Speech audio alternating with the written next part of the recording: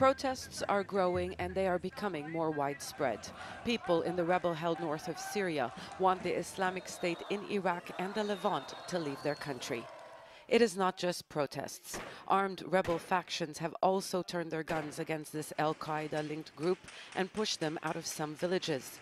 There have been fierce battles in parts of Aleppo and Idlib. And in this video, the opposition says they captured a Tunisian, Abu Sabr el Tunisi, a commander of the group. A newly formed Syrian rebel alliance went as far as declaring war on the Islamic State.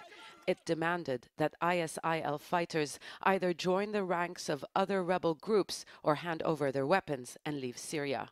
The alliance accused ISIL of spreading strife and insecurity in liberated rebel areas, spilling the blood of fighters, and wrongly accusing them of heresy. The Islamic State equaled the Assad regime in their ruthlessness. That's why we decided to fight them. We won't stop until they're finished. The Islamic Front hasn't formally announced its stance on the clashes, but they have helped us in battles. FSA commanders say they are receiving help from the Islamic Front, the most powerful rebel alliance in the north. The front hasn't come out clearly to state its position, but it was one of its commanders who was tortured and killed by the Islamic State a few days ago that sparked the wave of protests. ISIL took him in and, and, ended up executing him. And I think that annoyed a lot of people, and it became emblematic as what they see uh, as the hijacking of their revolution by foreigners.